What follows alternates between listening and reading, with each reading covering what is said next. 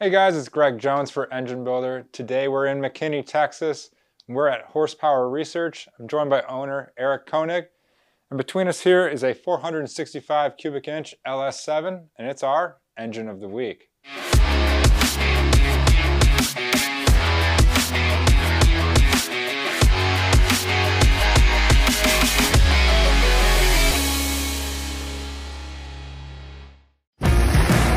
Engine Builders Engine of the Week is sponsored by PennGrade 1, Elring Das Original, and NPW.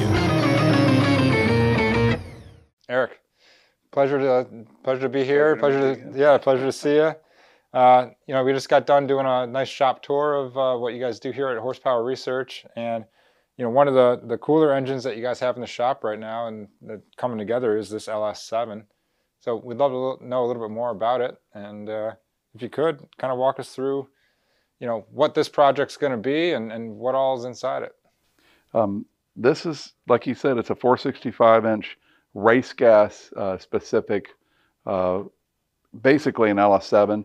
Uh, it's a Dart uh, aluminum block. Mm -hmm. It's got a um, big lifters in it. It's got a big cam core. It's got a Jesel belt drive.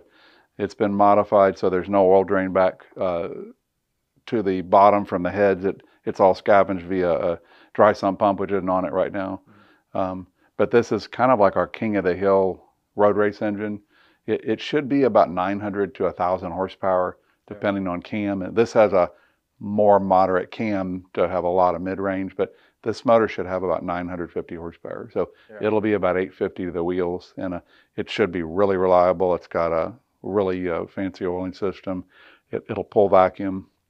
The heads on here are uh, CID uh, LS7 solid roller heads. it has steel T&D rockers.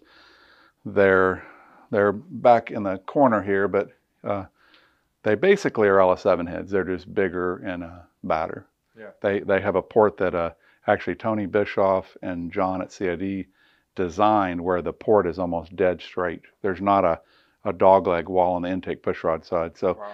it's really nice. These particular ones were done by uh, MBE, and um, we have some of our own ports too, but that's an MBE head. It's a small oval port, and um, yeah, this will probably run on some kind of race gas, not alcohol. Mm. And uh, but um, it also it'll have a, a big carb intake. It's one of John at CID's intakes, and it'll have a 4500 uh, EFI drive-by-wire throttle body. Okay, very good. Yeah.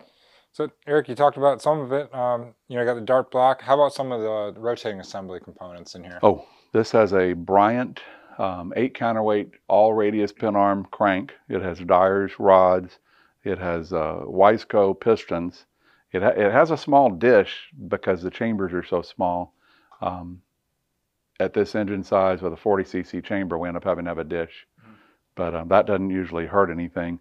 Um, these pistons have real small, you know, I think they're 8 tenths millimeter rings and a 2 millimeter oil rail. Um, they're very light, they're 3D milled. I think these pistons weigh about 410 grams. Yeah. They have a little tool steel pin. Um, it's, I think this has a bob weight of about 1600 grams. So okay. it's fairly light, yeah. even though it's big. Right. And um, yeah, it's all biased towards endurance. The valve train too, it's Billy Godbold at Comp helped us. It's got some really modern uh, lobes. It's about 850 lift. It has old uh, Toyota cup springs for the valve springs, and uh, um, those are from Joe Hornick. And uh, we have some from Joe Hornick, JHE, and some from uh, ECR, okay. Childress Technologies. So, but yep, it's uh, it has to have custom headers too, but it's We've done other, uh, these motors with those heads can make over a thousand pretty easily. Yeah. Some, if in a drag race format, you can make over 1100. Yeah. So they're pretty, they're pretty, uh, pretty stout. Yeah. Yeah. Um, now you mentioned a couple of valve train components. How about, you know, how about the rest of it in terms of uh, valves or rockers, you know, things like that, push rods? Yeah, this this will have. Um, I think we have on the intake. It's a trend one piece uh, half uh, half inch tapered pushrod and the exhaust it's a it's a Manton um, half inch. Uh, it may be a 5 8 even pushrod. Okay. Um, and it has a T&D steel rockers. Yeah. It has um, the heads are beryllium copper seats. Um, it has really long guides. It's a seven millimeter intake and five sixteenths exhaust, and uh, so the valves are from Xceldyne, I think. Okay. Um, they may be from Victory, I forgot. Yeah. but it's it's all really nice stuff. Yeah. It uses uh, um, it'll have spring oilers and some other stuff too, but um, mainly this will have a real. It, they have a Dailey, but it's a it's all out race Dailey. They make Daileys that are we call them the mini me Dailey. it's a, uh, called a 666. This one has a, a big Dailey, Yeah. so it, it has a it'll it'll it'll do what we want to do. And you talked about it being a dry sump system. Uh, you know how many uh, stages? Yeah, this would be, I think it's six stages. Um, I think it has four, it either has three or four on the bottom, it has one on top, and then it has a pressure stage, you know, obviously. And I think he doesn't have an air oil separator, does he? He may have an air oil separator too that kind of centrifuges out the oil from the air. Okay. Um, yeah. So I don't know, that might be a seven stage. Yeah. I don't, I don't know how they qualify all the stages, but but yeah, it has several. Um, uh, it's it's more of a real race engine. This thing, which you can't see here, that's even just so that the oil level. If it did fail, if the scavenge up here were to fail, Yeah. it'll start. It'll go around the belt drive. Yeah, Very good.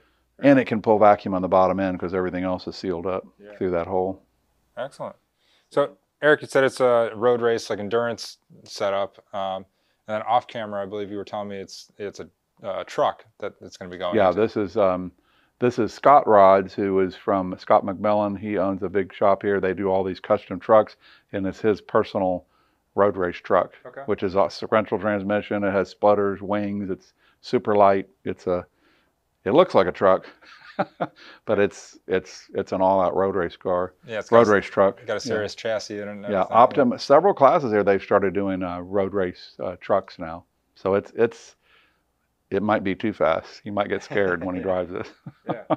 And But- and what and where is he? You happen to know like what in of races Fort he's Worth, going to do? right? Oh, oh, I think he he he just he. I don't think he's trying to make a whole season or anything, but I think he's going to go to all the stuff he can go to when when the truck's done. I think the truck's mostly done. Okay. We've been waiting on stuff during the pandemic. We were waiting on this crank for a while, and we've had all sorts of stuff yeah. with uh, that was just because of scarcity. Very good. Well, definitely cool, and we appreciate you telling us about it. So, Yeah. thank you, Erik. yeah. you. Guys, we appreciate you watching this episode of Engine of the Week. Uh, make sure you're checking out everything that Erik has going on here at Horsepower Research. And as always, make sure you're checking out EngineBuilderMag.com for more great engine content. Thanks for watching, guys. We'll see you guys next time. Hey guys, thanks for watching today's video. Hey, while I've got you guys here, I wanted to tell you about Find a Builder. It's a new microsite on EngineBuilderMag.com that's great for both engine shops and for potential customers looking to get engine work done. If you're an engine builder, this site is a place where you guys can list your shop and what you guys do to potential customers through EngineBuilderMag.com. It's an easy subscription-based microsite that'll let you guys connect to a new audience. And if you're a potential customer looking to get engine work done, this is a source to help you guys find a shop that's in your area or one that specializes in the type of engine work that you're trying to get done. Make sure you guys are checking out Find a Builder on EngineBuilderMag.com. Thanks.